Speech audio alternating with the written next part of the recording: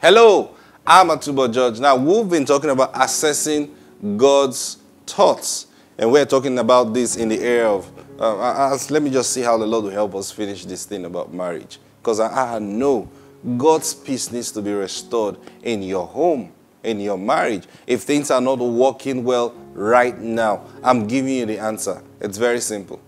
And let me tell you this truth. It's not about both of you sitting down, okay, um, to settle this matter. Two of us have to sit down now and tell ourselves the truth. Okay, now um, we have to start following God's thoughts. Hey, hey, hey, you, you that is listening to me right now, you take that decision yourself. See, that I'm going to see to it that my ways are pleasing to the Lord. Now, let me tell you this it doesn't matter what has happened, it doesn't matter who did what. If you make up your mind, first of all, that I want to please the Lord with my life and I want to please the Lord in my marriage. Now, marriages have broken up, even marriages of believers, Christian marriage. And they say, oh, we, we had irreconcilable differences. That's a big lie from the devil. You refuse to change. That's your problem. No, it doesn't matter who you are. If you lost your marriage, and let me tell you this thing. Now, I find it hard to believe anyone who would tell me that the Lord commanded him to end his marriage. See, see why, would you say that? I'll tell you the reason. God Himself said, What God have joined together, let no man put asunder. Right? Okay.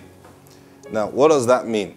The responsibility to put asunder is out of any man's hand.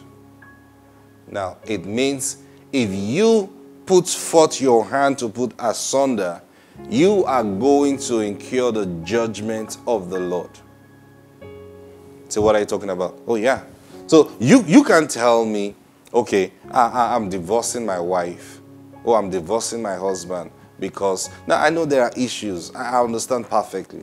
See, I'm not, I'm not saying this like um, people don't really have real issues. You know, there are people who lied to get married. You understand what I'm talking about? You know, when you find yourself in situation like situations like that, what do you do? Now, it's very simple. See, seek the mind of the Lord. Seek the mind of the Lord. The, the, the reason why it's important you seek the mind of the Lord is because anything you are sure the Lord instructs you to do, he takes full responsibility for it. I'll never forget, you know, when my wife and I got married and we were on our honeymoon. And then we were in this um, shop. We went to Dubai actually. We were in this shop late in the night. And I think that was the last night before we came back. And then I had noticed because we needed to take the train back to where we're staying. So I had noticed that the time for the train is, is almost near. And I began to tell my wife, look, we need to leave now. We need to leave now. And she wasn't happy about it because th- there was something she really wanted to get. We had seen it before, so we had planned, okay, on our way out. So I'm like, look, we don't have that time anymore. We need to go, you know. So she had to obey me, but she wasn't happy about it. So we got into the train, and, and it just happened that as we're approaching the train station, the train, the last train was just coming.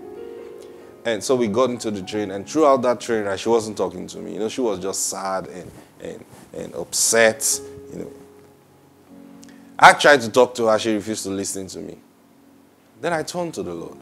See, that's what we have. I turned to the Lord, I said, Lord, I need your help right now. How do I handle this situation? And as we were approaching our train station where we we're going to stop, we came out of the train. I heard the Lord. Now, normally, when we get to that train station, we turn left to where we're going. See, that's our way to go. So we just came out. We just come out and then we turn left. But as we came out of the train, I heard the Lord say to me, turn right. And I told her, I said, let's go this way. And she was like, where are we going? I said, just follow me. I didn't even know where we were going to. so she followed me. And we walked a few meters down. And there was this shop that was open. I think that was the only shop that was open in that train station that night.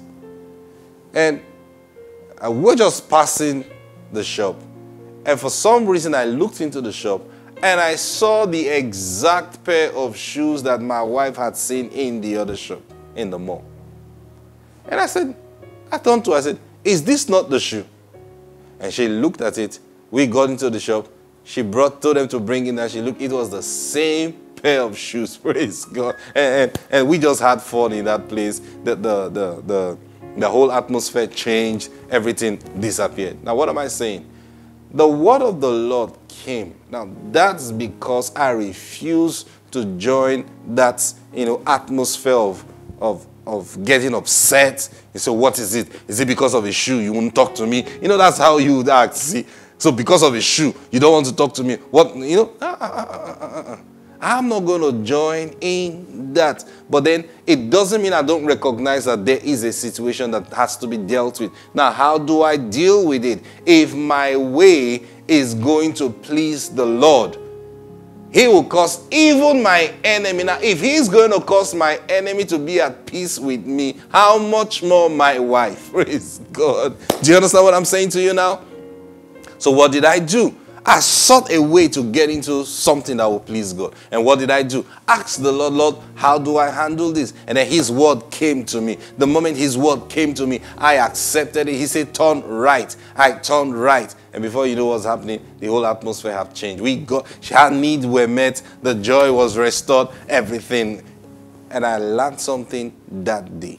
See, take everything to the Lord. And that's the principle behind it. Get your way to please the Lord, He will heal every broken thing that have ever existed. Praise God. I've got to stop here today. Until tomorrow, have the best day ever. Bye bye.